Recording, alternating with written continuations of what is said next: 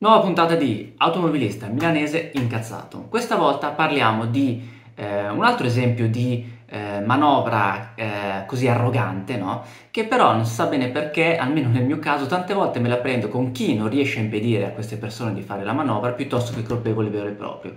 Chissà, magari ha a che fare col fatto che siamo abituati a vedere così tante ingiustizie lasciate impunite che alla fine, almeno nel mio caso, me la prendo più con chi avrebbe potuto cercare di evitare che questa eh, cosa eh, fosse stata fatta. Nel caso specifico è veramente esplicativo, tre persone che se ne sbattono degli altri, fanno una cosa che non andava fatta e io cerco di consigliare a tutti voi che siete in strada, sempre rimanendo nell'ambito della sicurezza, di cercare in qualche modo di eh, evitare che queste cose accadano e rendergli la vita quantomeno difficile. Vediamo la clip.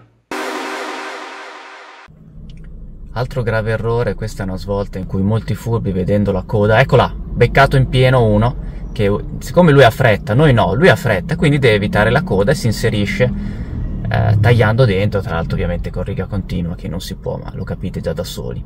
Però l'errore, tra virgolette, anche di chi adesso comanda la fila qui, è stato troppo all'interno sulla sinistra. Lì in quei casi devi metterti tutto a destra, così chi prova a fare il furbo, come quello che abbiamo visto in diretta, è due, tre, vedete quanti? Bisogna chiudergli la porta a questi ragazzi, lo so che è un imbruttimento, ma se no la gente ne approfitta.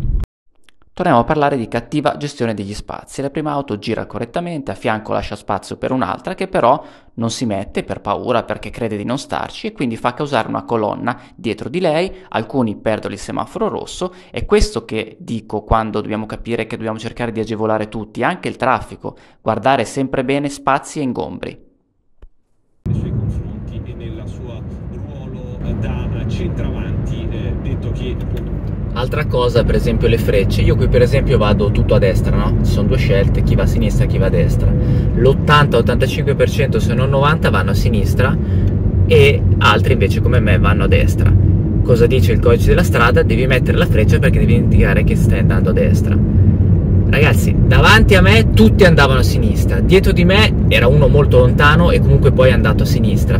Chi devo avvertire con la freccia? C'è qualche pedone, ciclista, motociclista che non sa che io devo andare di lì, magari allora gli, gli, rischio di, di recare danno o qualcosa, non mi pare.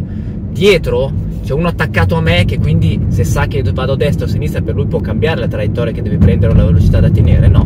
Allora perché devo mettere la freccia a destra? Perché lo dice il codice, certo, e infatti da questo punto di vista nulla da dire, ma torniamo al discorso che avevo fatto per la questione della corsia libera più a destra, allora cerchiamo di capire quando certe cose vanno fatte assolutamente per la sicurezza nostra e degli altri e quando certe cose possono essere anche non fatte